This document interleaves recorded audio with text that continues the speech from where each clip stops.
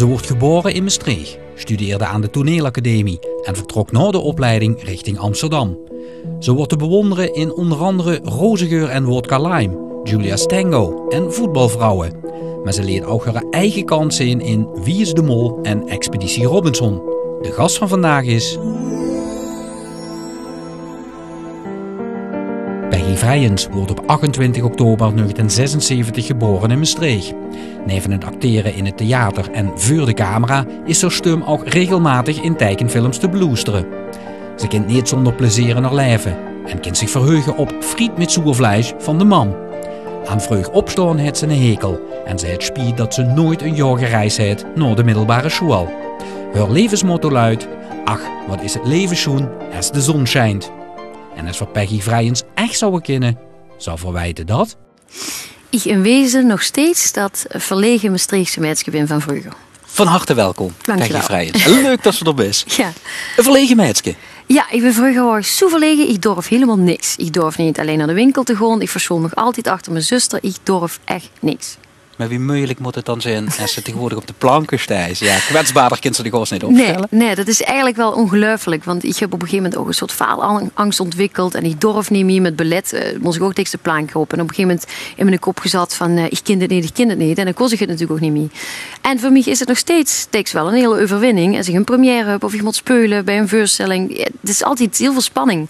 Dreigt de maag echt... eh, Ja, ik ben altijd wel heel erg nerveus. Maar op het moment dat ik opga, valt alles van me af. En ik krijg daar zo'n kick van. Dat ik Ja. mezelf iedere keer opnieuw weer aandoen om dat om te gaan. Maar is het dat al niet? De, prikkel echt wel. van, oh, de Ja, kids ik niet zonger en de kids met. Ik had iedere keer dat ik denk, dit ken ik niet, dit wordt niks, ik heb niet gehoord. En dan ineens, bam, dan...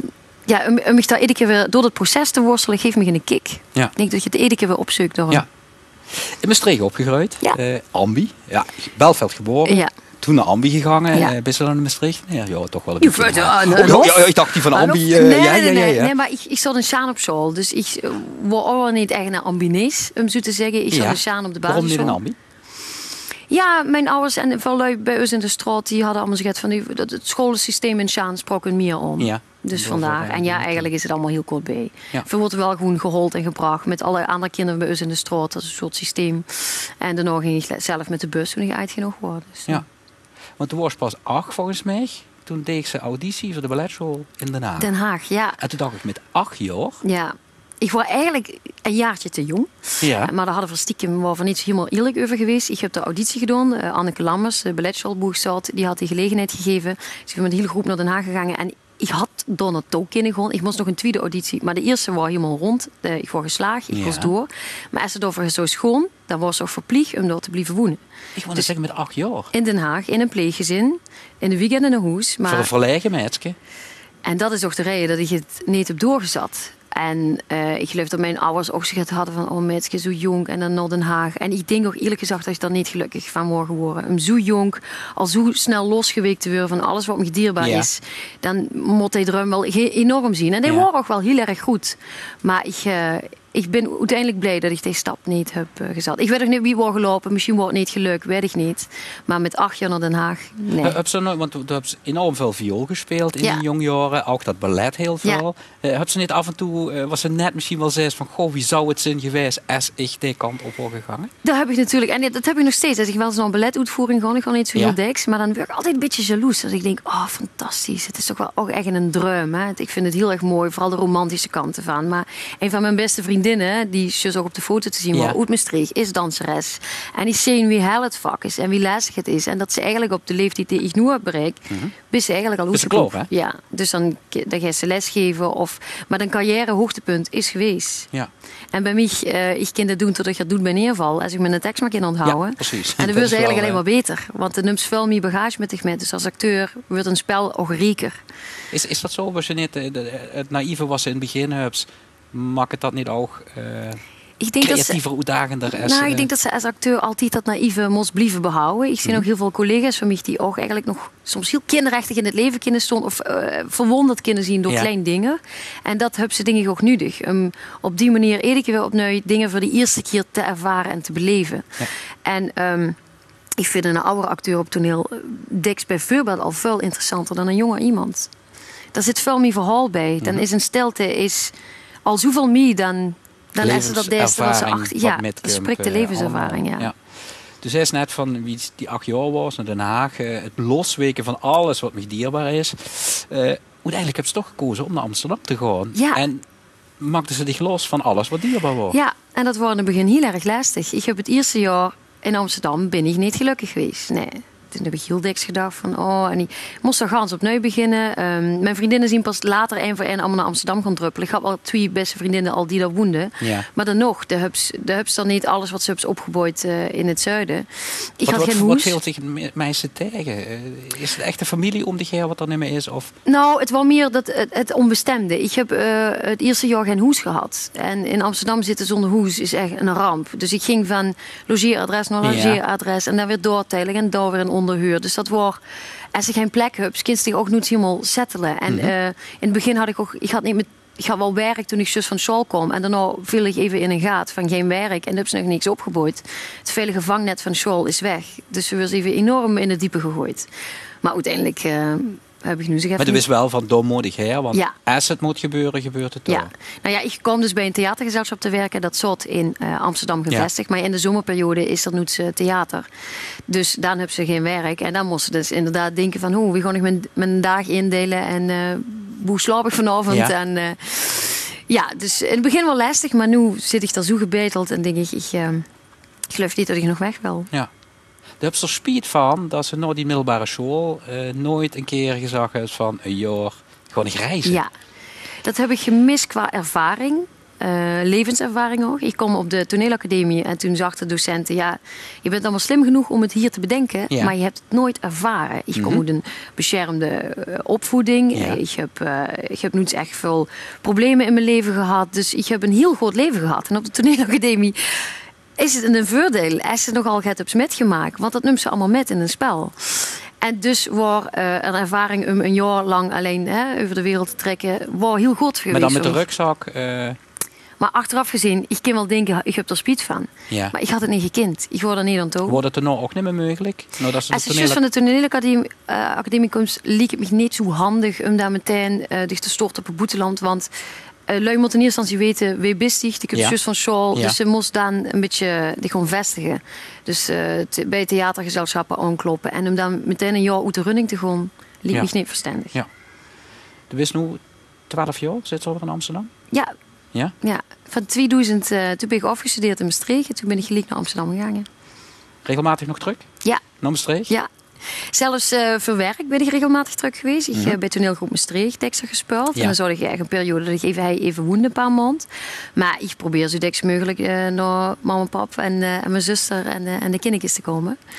En dus... wie anders is het nu dan 2000 vertrokken. Uh, waarschijnlijk, met alle respect, kostte ze Peggy Vrijens nog niet zo in Maastricht. Nee. Ja, de lui die die kosten. Ja. En ook een Peggy Vrijens terug, uh, die ineens een succesvolle actrice is. Films, theater, ja, dus televisie het is grappig om te merken. Um, als ze dan door de stad loopt, dat, ja. dat luidig anders beloeren. En ze komen niet meteen naar de toe, maar ze hebben allemaal wat dit hij dan? Hey. En dan weet de luidig niet dat ik van Maastricht ben. En ik merk nu, vooral met Expeditie Robinson, dat ze veel meer kind was. En uh, ik was in december war bij de opening van de tentoonstelling in de Stadsbibliotheek. Met uh, alle portretten van de bekende Limburgers. Ja. En dan komen dan toch best wel veel lui op de grond van: oh, morgen een handtekening. En oh, die is een, uh, een van Limburg. En dat wist ik niet. En dat is wel heel erg leuk om te merken. Ja. Is dat leuk of is het eens vervelend? Nee, ik vind het niet vervelend. Ik, zou, ik vind het vervelender als leuk niks zeggen. En mhm. van een afstandje een beetje zo raar zitten kieken nodig. En dat ze dingen vragen om me of, of loon niet zo. Want dan word ik daar heel onzeker van. Dan denk ik, of is dat gaat anders? Heb ik mijn haar, is mijn haar raar? Of wat heb ik gewoon... Uh, ja. Dus ik heb liever dat lui het uh, nog goed spreken. Ja. Expeditie Robinson, daar hoort ze al aan. Dat heb ze er met gedaan. Ja. Um, toen dacht ik van, uh, mensen die op televisie, in theater, dat zijn ijdele mensen. En dan moesten ze mij toch potverdorie wekenlang zonder, make-up. Maar wie moeilijk moet dat niet zijn om zich zo bloot te geven? Ja, nou dat is wel gaat uh, boeg in het begin heel erg over heb nagedacht. Van ken ik dat? Ik vind het namelijk heel lastig om me heel erg kwetsbaar op te stellen. Ik wil altijd voor de boetewereld, hè. Sterke Peggy en ja. uh, ik uh, liever niet huilen in het openbaar. Nou ja, en dit... Het is me geen expeditie Robinson natuurlijk wel een paar keer overkomen dat zich dat gebeurt. Het is enorm kwetsbaar, het is zo fragiel, de, de sliep niet, de eet niet. Um, ja, dat is natuurlijk super snel uh, emotioneel.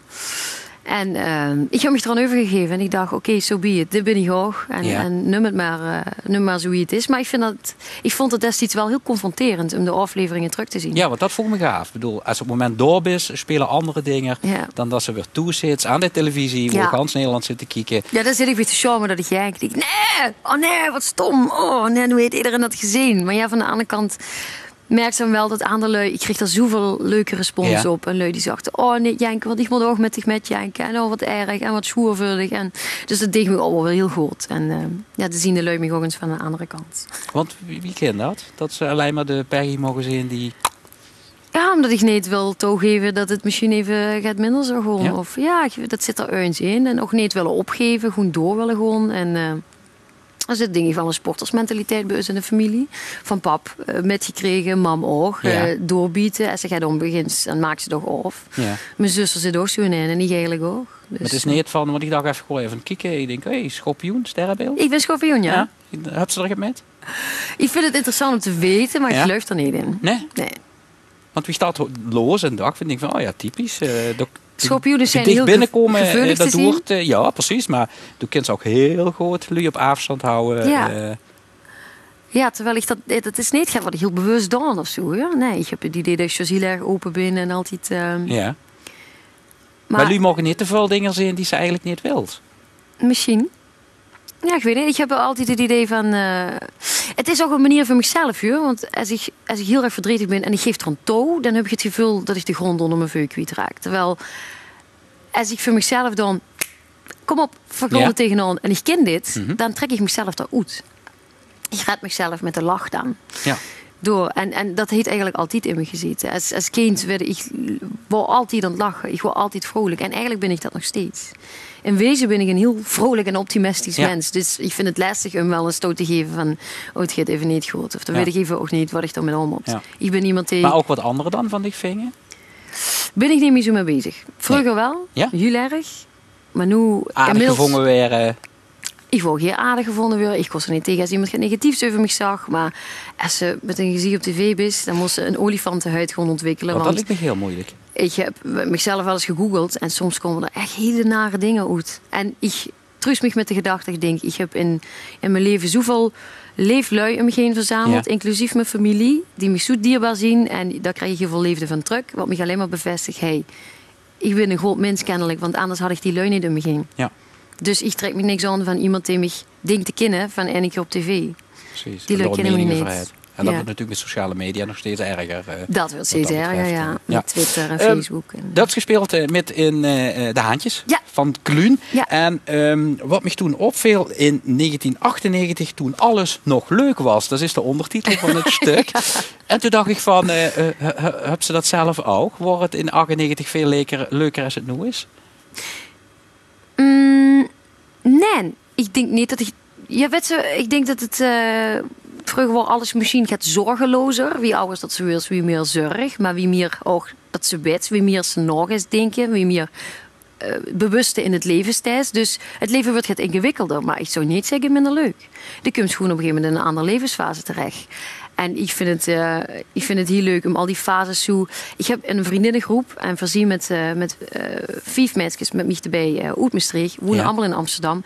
Kennen elkaar. Ik ken mijn beste vriendin al van de kleuterschool en de rest van het begin van de middelbare school. Dus veel zit- maken al die fases. in Ja, maken we heel bewust samen met. Voorzien elkaar iedere week. Gewoon iedere week bij elkaar eten. een Limburgse enclave, als het Limburgse enclave in Maastricht. Of in Amsterdam. Ja, En ehm, ja, we, we zien onderling ook allemaal even goed bevriend. En eh dan zien ze pas echt wie ons leven aan het veranderen is. Wie we dus allemaal samen al die fases doorlopen. Mijn vriendinnen zien inmiddels allemaal gewoon samen wonen. De meeste dan zitten nu in de fase van kindertjes krijgen, Ja. wel of niet. En ehm, ja, dat is dan wel heel bijzonder om te zien. Dus we hebben het deks ook over het leven. En ook over terugkijkend van, goh, wat is nog toen? En toen gingen we op stap en er was niks aan de hand. Eens boem je druk over maakte, wat dan nog aan ja vanavond? precies. En dan zie je wel dat een leven heel erg verandert, maar het verrijkt ook. Het wordt zeker ook veel mooier. Ja. Wat, eh, wat is het mooie als ze uh, kijkt naar het leven nu in vergelijking met wie ze 20 was? Als ik um, overal, uh, uh, nou ja, mijn vriendinnen zo zien, de keuzes die iedereen aan het maken is. Uh, wie is het tot nu toe gegaan in het leven? de kindertjes die erbij komen. En de zus karaktertrekken weer terug van een vriendinnen of van mijn zuster of zo. En dat, dat is zo fantastisch om te zien, vind ik. Dat, dat vind ik erg leuk. Ja. ja. Dus in die zin, ja, rijker geworden. Ja, en ik bedoel, volop in de belangstelling nu. Um, ja. In die vak, wat mij toch zo moeilijk eraan lijkt, het, het, het kan vondje over wie zijn. Ehm. Maar dat denk ik misschien wel veel te negatief, maar zo bedoel ik het niet. Maar de onzekerheid in die vak, van wie lang gaat het door? Nou, ik heb door de jaren nu inmiddels wel gemerkt dat uh, ik me daar niet meer druk over moet maken. En voor heel veel lui in de, die alleen kijken naar de televisie, die denken ook diks, oh, en dan is ze weer weg, weer weg van venster. Maar dat is niet zo. Ik ben altijd ontwerk gebleven al twaalf jaar lang. Alleen ik doe veel theater en dan ben ik dus even niet in de picture. Dus ik heb voor mezelf altijd de juiste balans gevonden met just een beetje preuven van dat BN'erschap. En uh, de andere kant moet ik lekker anoniem gewoon mijn werk in doen. En ik heb me tot nu toe uh, twaalf jaar lang uh, groot kunnen bedruipen de Gewoon, uh, en ik heb daarneven ook, ik spreek ook heel veel in, tekenfilms. Ja. Ik regisseer nu ook tekenfilms, dus mijn vak breidt zich uit. Door regisseer tekenfilms? Ja, ik regisseer nu ook. Uh, ja, nou dan regisseer ik de stemmen die de tekenfilms moeten inspreken. Dus het stemmenwerk wat ik zelf doe, dan zit altijd een regisseur bij om dich te zeggen van... oh, let op je intonatie, let op de klemtoon, daar ietsje sneller, pas op. Hè, dit moet net even wat... Uh, ook zorgen dat het synchroon loopt met de bekjes natuurlijk. En spel uh, inhoudelijk. Hoe komt dat vandaan? Nou ja, ik eh, ben inmiddels al zo bedreven in het inspreken, omdat ik dat al zoveel jaren dan, dat ik inmiddels ook de ervaring heb wie het over moet brengen um, naar een ander te zeggen van zo en zo, zo is het kunnen doen. En ik ben op de toneelacademie Oets ook aangenomen als zijn en actrice als, als uh, regisseur. Maar ik ging een richting kiezen en ik koos voor actrice. Maar ik mocht in principe alle twee de richtingen iets, uh, combineren. Ja, dit vind ik ontzettend leuk om te doen. En daarbij komt dus ook dat ik nu, uh, ja, ik zit niet meer een werk verlegen. Er is altijd wel uh, werk voor mij. Ja. Dus ik ben niet bang dat het op een gegeven moment ophelt. Ja. Een van de redenen dat, dat veel u niet zo wijten is tegen Limburg komt, mm -hmm. is dat is tegen Nederlands praat. Ja, het is gewoon uh, van boven de rivieren. Op de toneelacademie werd ik dat de roet geramd. Ja, werd dat echt goed geramd? Ja, nou, maar niet voor Michelin. Dat geldt natuurlijk voor iedereen die overal vandaan komt. Neemt altijd zijn eigen accent met. Als ja. Amsterdam, Rotterdam, uh, Brabant komt. En we kregen elke dag stemles. Wat dat betreft is Maastricht een hele goede ambachtelijke school die daar heel veel aandacht voor de techniek heeft. Mm. en een van de technieken die ze moest beheersen als acteur is uh, goed, uh, goed gebekt zijn. Hè? Maar is, is dat niet mogelijk? Ik bedoel, aan de ene kant hebben we de chauvinistische Limburger. Ja. Toch geen nog wel ergens laat blikken van ik kom uit Limburg. Ja, dat laat ik ook altijd En dat moest ze moest afstand van doen. Ja, nou ja, zo je niet. Want als ik gewoon Nederlands praat met collega's, dan heb ik weer een andere gradatie Nederlands. Maar mijn Limburgs is niet helemaal weg. Als ik op toneel stond, dan zal ze het niet huren. Mhm. Maar dat, dat ken ik me gewoon niet thuis stond. Of als ik in een tekenfilm inspreek. Maar in wezen ben ik nog steeds dat Maastrichtse meisje. En tussen die zal ik altijd proberen me het Maastrichts in te groeien. En ik switch die hele tijd. Wie denkt zich? Gewoon, even Ik denk in het Nederlands. Ja? Ben ik achtergekomen. Maar dat komt misschien ook omdat een van mijn beste vriendinnen... die ken ik al vanaf de kleuterschool. En we horen altijd zo meteen. En ze spreekt Nederlands. En ik word altijd met haar in gedachten om het vertellen wat ik ten dagen aan het metmaken was. En daarmee is het eigenlijk al begonnen. En het grappige was, als ik vroeger speelde hè, in de poppenhoek of mama en papatje, was altijd in het Nederlands. Want dat was spelen. Spelen deed je in het Nederlands. Gek genoeg.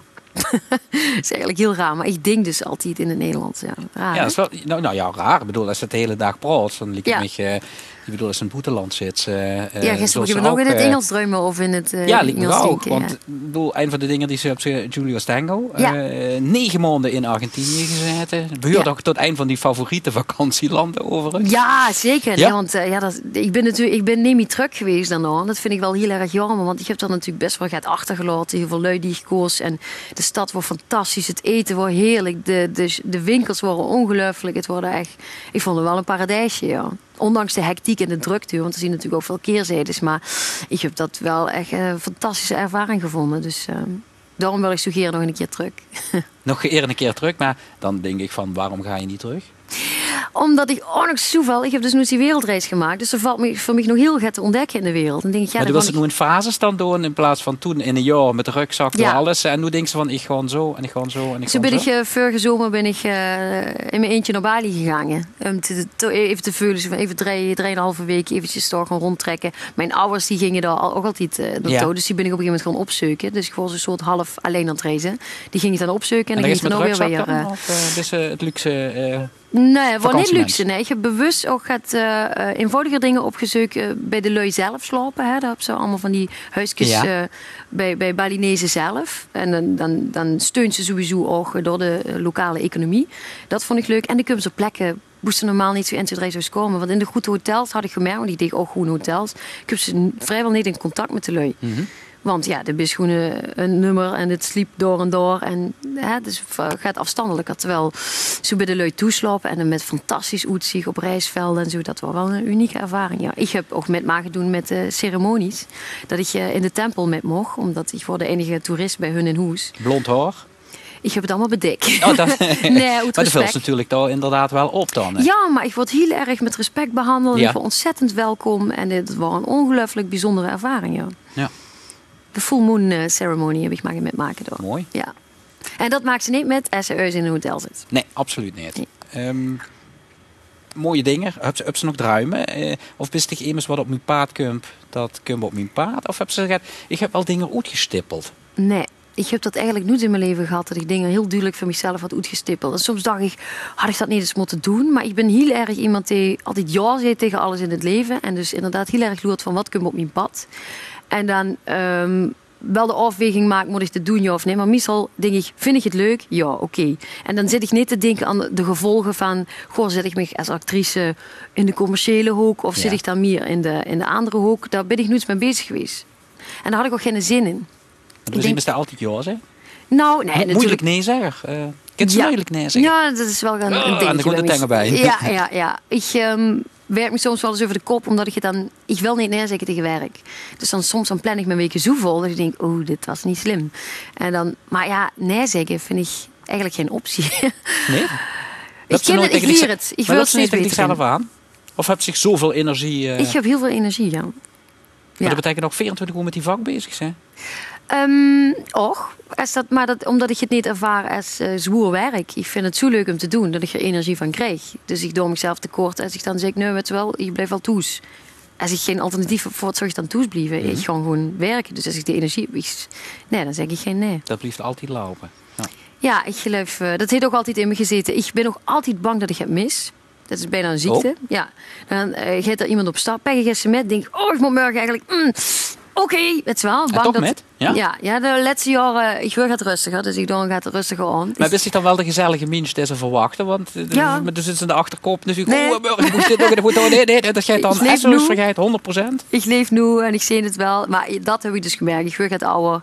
Dus ik, ik ga, ik ga, ga- daar gaat meer over nadenken. Ik kan het beter nee zeggen als het moet. En ik laat ook wel eens gaat sheten. En dan gewoon ik mezelf niet lopen eh, bedenken van... Oh, en ik heb dit gemist en ik word er niet bij. Ik moet me denken, ach, het zal heus al metgevallen hebben. De wereld gaat ook door als je er niet bij bent, Ja, toch? helaas Helaas wel, wel. ja. Helaas wel, ja, precies, ja.